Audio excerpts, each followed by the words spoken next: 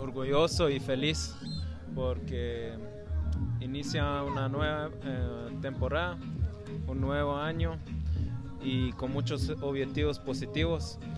Y gracias a Dios ahorita sin molestias, sin lesiones, que se quede así. Y muy emocionado también para conocer la afición de Cobán.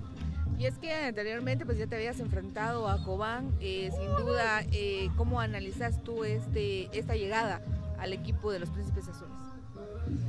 Pues me recuerdo que cuando jugaba para Guastatoya y venimos aquí a Cobán, siempre fue algo muy especial porque los partidos de noche y el estadio lleno de, de todos los cubaneros y el partido siempre fue muy difícil, me recuerdo siempre.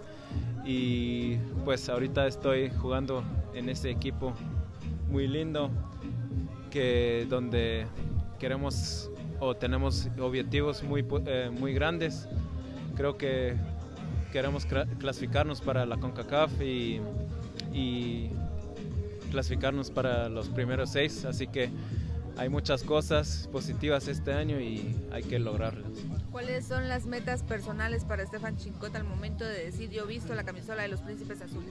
Creo que los, los primeros es estar, es, eh, estar con mucha salud, sin lesiones y muchos minutos.